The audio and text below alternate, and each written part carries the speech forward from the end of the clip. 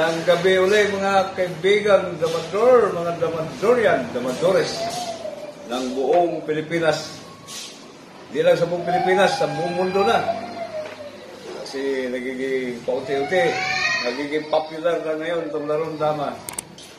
Dahil dito sa nalalapit na tournament, yung Philippine Dama Open. Nagkaroon tayo ng connection sa Brazil. Pasalamat tayo rito kay Mr. Richie Saladaga. Siya ang nag gumawa ng paraan para magkaroon tayo ng connection sa Brazil, sa World Truth Federation. Sila ang tumulong para magkaroon ng tournament dito sa Pilipinas. Pero hindi ko sigurado kung saan ang venue ha, pero 100% dito talaga sa Cebu, sa Region 7. Okay, sige. Saka yung buwan, yung shout out, doon nyo na makikita sa bandang dulo. Sa ending, sa ending. Dito muna tayo sa itong message ko rito kay Joy Joy. Itong tri- trilogy namin ni Joy Joy na parang tingin ko parang lumalabo na yata. Kasi tagal ko na rito sa Cebu. Ang tagal ko naghintay. Baka bukas makalawa, babalik na ko ng Ormoc kasi parang wala na. Parang lumalabo na yung van. Parang ayaw na yata. Eto, may mensahe ko sa iyo, Jojoy. Pag gusto mo talaga ako labanan, pumunta ka na lang ng Ormoc. Kasi bukas makalawa, uwi na ako. Ang tagal ko naghintay. Ilang buwan na ba? Saka dito naman ulit sa yung tumulong sa atin, uh, mga, mga taga-Brazil, para magkaroon tayo ng tournament dito sa buong Pilipinas. Eto, medyo na, pwede na kayo mag-register dito sa Juan. Nakalista na, dami na nakalista. So, kapalista sa description link. O sa description link, Click nyo lang. pumunta na kayo rito sa area ni Juan, ni Atang Saladaga. Dito yung Juan. Dito, naglilistahan na. O sige, start na tayo. Pero yung ipapakita ko ngayon, yung laban namin dito sa online tournament, sa, Lil, sa League Drops, yung kailan lang na nag-champion ako, nakalabang ko yung pinakamatindi sa buong Brazil, si Vinicius Tamer. Talagang matindi. Pero, natsampahan din natin siya. oh. Kaya, ibig sabihin, may chance tayo na makapasok yan sa tournament sa buong mundo. Ibig sabihin, ang mga Pinoy talagang hindi man nabibitin sa larangan ng sa, lara, sa larangan ito. Oh, may may 100% tayo na pwede makasagupa sa akin. Pwede tayong sumabay sa kanila. Okay, sige. Mag-start ako, unahin ko, mag-umpisa sa, sa pinaka-umpisa. Yung una kong nakalaban.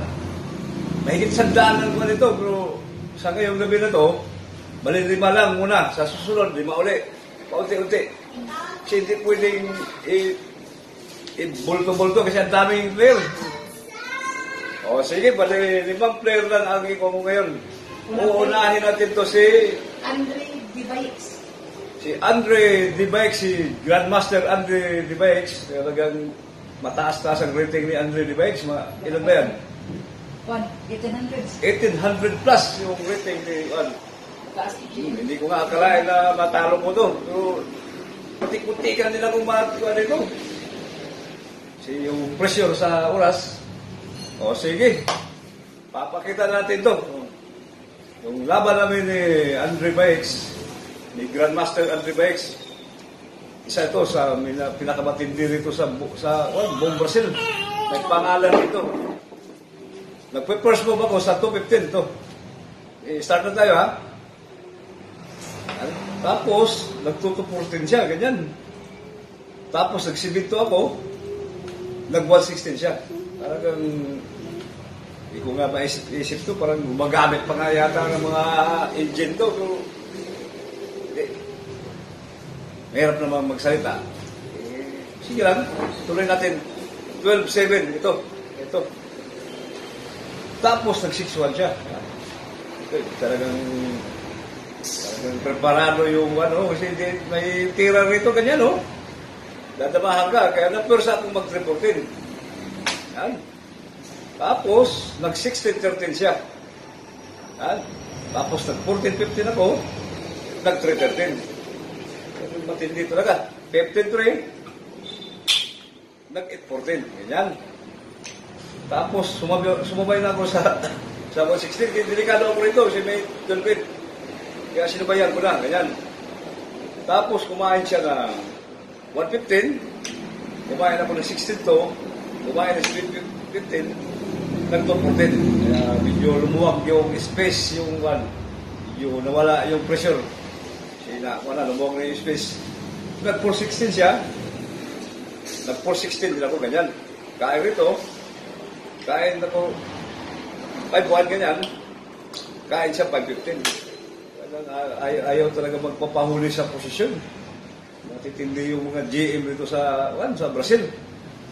Nag-9-5 ako. Tuloy natin ha. Nag-12-8. Nag-5-1 ako rito. Nag-11-6. To. Tapos nag-6-2 ako rito. Ganyan. Nagpakain na. Ganyan na. So, nag-9-5. Yan. Tapos, na, medyo nakakuan tayo, medyo naka maneuver tayo sa pagtira niya ng 9-5 kasi nakatira tayo ng 10-5. Ang kasunod ito na. Tapos, ang ginawa, nag-2-14. Tama na naman yung one. Hindi pwedeng mag-6-1, kasi may 8-3, ganyan, no? Hindi pwedeng mag-3-13, may 8-3 din. 5-1, gano'n din. Kaya ang ginawa, nag-2-14, nag-11-7 ako, ganyan. Nag-5-4. Ito si J.M. Andreo. 8-3. 3-13. Sayang, 1-15. Yan. Nag-6-2. 15-3.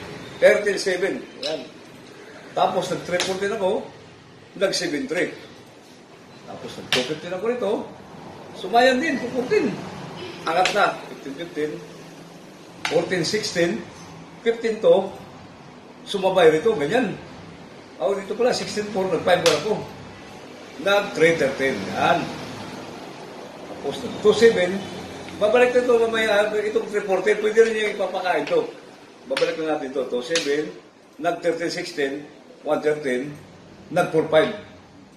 Tapos nag 7-12 ako. Lumama siya rito sa may 5-10, ganyan. Nag-7 to. Nag-13-3. Ito, kain ako rito. Kumain siya ng 10-16. Agaw agad sa gitna, 12-15. Nag-16-6. Yan, talagang 13-3. Gumanon sa 4-16. Naghanap talaga ng draw. 15-1 ito. Tapos nag-16-14. 3-7. Yan. Tapos nag-isip siya. Anong tingin?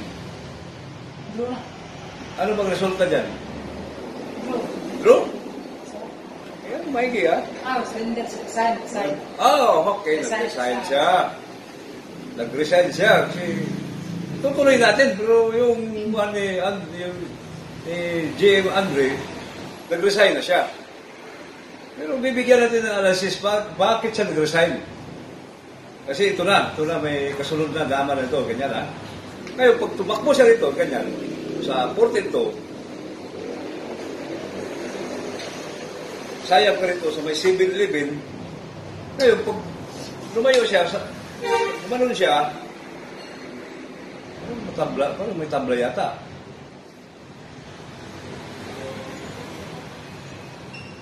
O ano? Parang may tabla pa rin niya, pero, pero nag-resign siya. Oh, eh, oras, oras. Ah, yung oras Resign siya pala. oras, wala na. Kaya pala. Oh, nag-resign siya boss. mali, mali, mali pala yung one. Kaya pala siya nag-resign dahil doon sa pressure sa oras. So, kita yung Na-pressure siya kasi may time nga, may time limit nga yung one. Okay, yun na. Tama to. Ito, sa ganitong posisyon, nag-resign na siya. Yung nga pala, may oras pala. Okay, sige. Tapos natin yung unang game. Yung pagsali ko sa lead roads. Ito na, dito na tayo sa pangalawang game. Okay. Ayo, ayusin ko lang muna ha. Dos ang dos.